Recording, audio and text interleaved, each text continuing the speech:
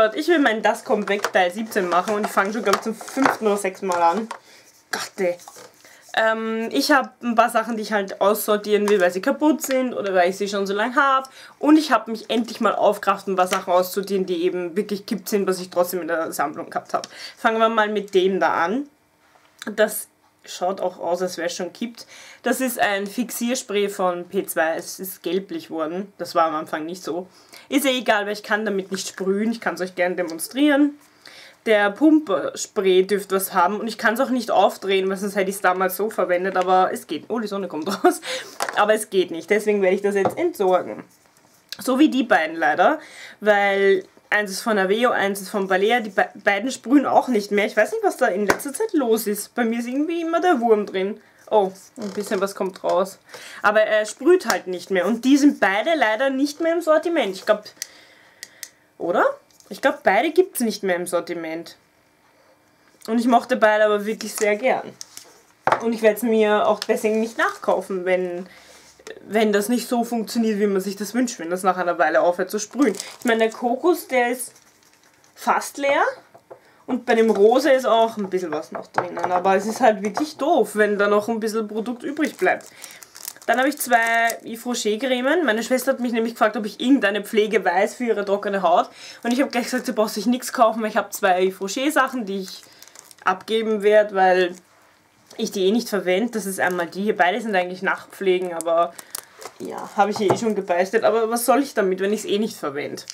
Und ich habe eh so viele andere Sachen, also kann ich mich ruhig davon drehen. Und eine sieht so aus. Die hatte ich auch eine Zeit lang im Badezimmer. Riecht doch angenehm. Aber ich benutze sie als Dekolleté-Creme einfach nicht. Nein, und deswegen kommt sie weg. Was ich noch entsorgen werde, sind diese, ähm, was wirklich ekelhaft ausschauen, diese Barfuß, wie heißen die, Fußerfrischungstücher. Ähm, die habe ich im Sommer sehr gern. Im Sommer wirklich sehr gern. Nur sind die austrocknet schon wieder. Bei mir geht das so schnell, dass die austrocknen. Ich weiß auch gar nicht, ob ich sie mir nochmal kaufe, weil ich weiß nicht, irgendwie hat das nicht so viel Sinn. Die muss ich leider auch aussortieren. Die habe ich extra von meiner Filialleitung bekommen. Das ist nämlich dieses Salthaus Totes Meer ähm, Therapie. Ich glaube, die gibt es sogar gar nicht mehr. Aber das ist umgekippt, das ist gelb. Boah, schaut ureklig aus. Ich zeige lieber nicht in die Kamera. Es schaut wirklich eklig aus und deswegen werde ich es entsorgen. Kommt auf den Entsorgenstapel. Ja, was noch zum Entsorgen ist, die Kiste ist so grauslich. Das schaut nämlich wirklich schon extrem widerlich aus. Seht ihr das? Das ist so, schaut aus wie Schimmel. Das ist ein Topcoat gewesen von OPI. So sieht er aus. Ja, werde ich natürlich auch entsorgen. Dann habe ich hier einen Nagellack. Der Staub bringt mich um, Leute. Der ist nämlich total dreckig in dieser kleinen Kiste. Bah. Und der Staub bringt mich um. Ähm, ich habe einen Nagellack aussortiert. Ich habe den, glaube ich, noch nie verwendet, außer einmal, glaube ich, zum Probieren. Und mir gefällt der auf meinen Fingernägeln nicht. Und deswegen, das ist so ein knalliges Rosa. Ich habe den leider mal geschenkt bekommen, aber der war nämlich aus so einer Catrice-Allee, wo ich auch zweimal den grauen habe, ich dumpf packe. Aber der, der ist nichts für mich. Den gebe ich auch auf den Stapel, wo ich immer was herschenke. Ach Gott, mich juckt im ganzen Gesicht. Dann habe ich hier ein Glitter-Eyeliner, glaube ich, ist das in Gold. Den benutze ich aber nicht. Was mache ich damit? Den habe ich mal zu Weihnachten, glaube ich, oder so bekommen. Aber den benutze ich nicht und deswegen kommt der in die Tüte für meine Nichte, weil die wird sich sicher drüber freuen.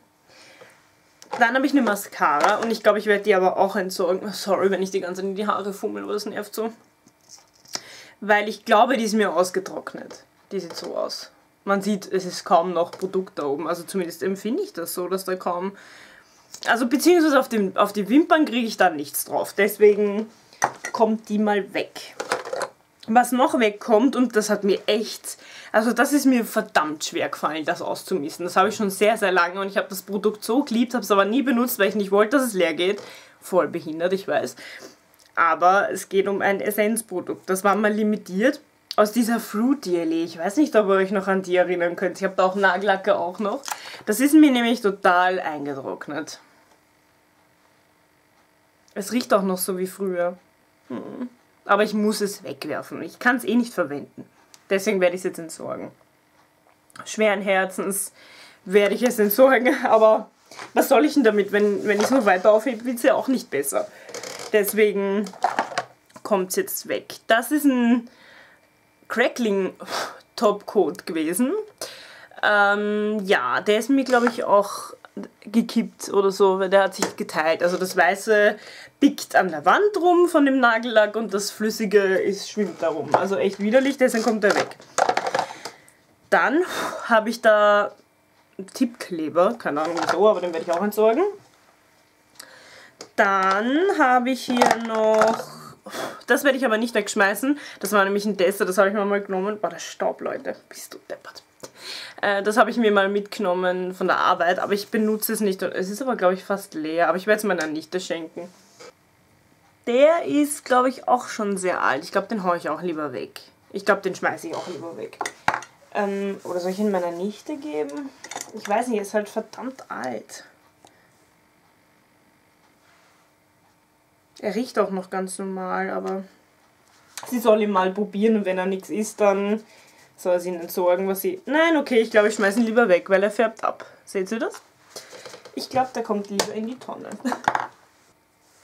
Ich habe noch drei solche Creme Rouge. Die habe ich ja damals gesammelt, gebe ich ganz offen und ehrlich zu. Das schaut aus wie so ein komisches Jelly von der Vampires Laufele. Ich glaube, ich werde aber alle wegschmeißen. Ich weiß nicht, traue mich die nicht meiner Nichte geben. Ich meine, ich benutze jetzt auch ein altes, weil ich habe dieses Creme Highlighter Ding auch in so einer Verpackung. Ich, ich habe sie nie verwendet. Sie waren, glaube ich, nur einmal. Ich meine, offen waren schon mal. Da steht zwölf Monate haltbar nach dem Öffnen. Ich bin mir echt nicht sicher. Ich glaube aber, ich werde es lieber... Also das haue ich auf jeden Fall weg von dieser Vampires Love. Bei den beiden, die schauen eigentlich noch relativ okay aus.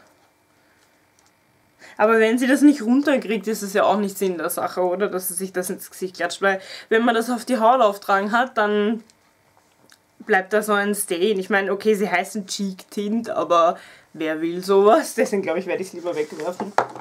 Ich bin mir bei denen echt nicht sicher. Ich glaube, ich werde es entsorgen. Ich habe dann auch so einen ganz, ganz alten MAC Lipgloss, wo sogar das Stöpsel schon gebrochen ist und der mega ekelhaft ausschaut. Also wirklich, wirklich ekelhaft ausschaut. Den werde ich auf jeden Fall entsorgen, also beziehungsweise in die Back-to-Mac Kiste geben, weil der ist echt grausig. Der ist wirklich grausig. Den habe ich jetzt noch nicht so lange und den werde ich auch verschenken und nicht wegwerfen. Das ist nämlich von Sleek ein so ein Lippenstift gewesen. Aber ich habe ihn nie verwendet und ich habe so viele Rottöne, deswegen. Meine Schwester hat nämlich eine Freundin, die auch gern. Also die hat mich mal gefragt, ob ich, wenn ich aussortiere, auch ihr was gebe. Und ich sage meiner Schwester, sie soll ihn ihr geben, wenn sie ihn haben will, weil ja, das hat nicht viel Sinn, glaube ich mal, oder? Dann habe ich noch zwei Lippenstifte, die auch voll eklig ausschauen. Einmal den hier, den werde ich aber wegwerfen. Den mag ich selber nicht und wenn ich ein Produkt nicht mag, dann gebe ich es auch nicht weiter. Das ist von Make-up Factory, die Farbe 153. Oh. aber ich mag ihn überhaupt nicht, deswegen wird er entsorgt. Schmeißen wir gleich da rein. Dann habe ich noch einen Glitter-Eyeliner, der auch leider ausgetrocknet ist. Ich hatte ihn schon eine Weile, schon sehr, sehr lange eigentlich. Und ich mochte das ja früher auch gerne, wisst ihr, über den Eyeliner Glitter drüber. Nur jedes Mal, wenn ich den oben gehabt habe, haben mich die Kolleginnen verarscht, dass es so komisch ausschaut. Obwohl der ja urschön ist eigentlich. Man sieht ihn auch kaum, weil der so changiert. Ich habe ihn auch schon eigentlich gut aufbraucht, ihr könnt es ja eh sehen. Also ich habe ihn sehr brav verwendet, aber der Rest, der ist mir einfach austrocknet. Ich kriege da nichts mehr raus und deswegen habe ich mir gedacht, werde ich ihn ausmisten. Dann habe ich auch leider einen MAC-Lippenstift, den ich ausmisten muss.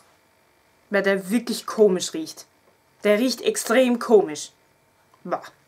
Ähm, vielleicht nehme ich mir den aber mal mit äh, und gehe mal zu MAC, weil ich so eine Farbe wieder haben will. So sieht er aus. Der war leider mal Limited Edition. Two Pumper heißt er.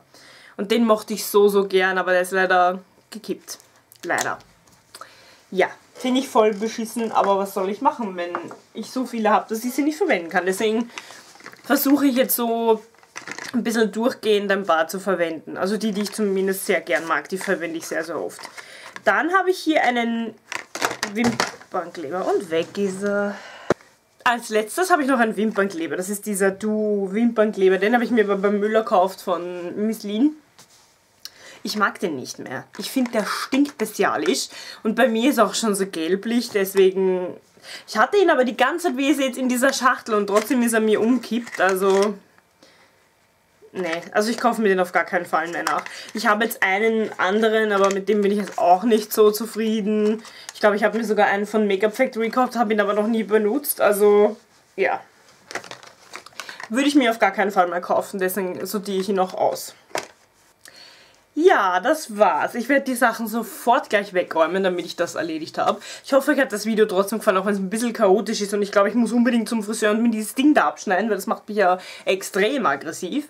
Nur wenn ich sie so zurückgebe, schaut das so kacke aus. Ich weiß nicht, heute bin ich irgendwie, irgendwie nicht zufrieden mit meinen Haaren. Ich weiß nicht, woran es liegt.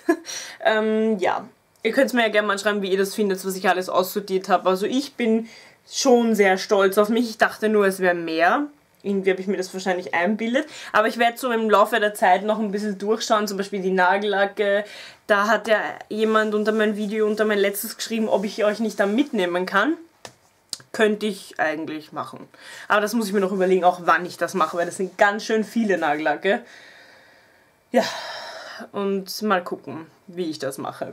Aber ich nehme euch da auf jeden Fall mit. Ja, ich hoffe, euch hat das Video trotzdem gefallen. Schreibt mir mal in den Kommentaren, ob ihr auch was aussortiert habt, wo ihr euch gedacht habt, warum habe ich das so lange aufgehoben.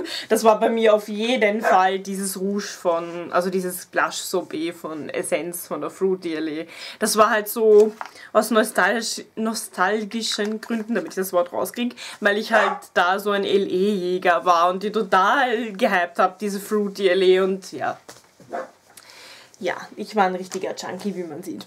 Also könnt ihr mir gerne mal schreiben, ob ihr auch sowas habt. So ein Retro-Ding, was ihr auch so habt vor kurzem. Sparky! Und wir sehen sich dann im nächsten Video wieder. Bye!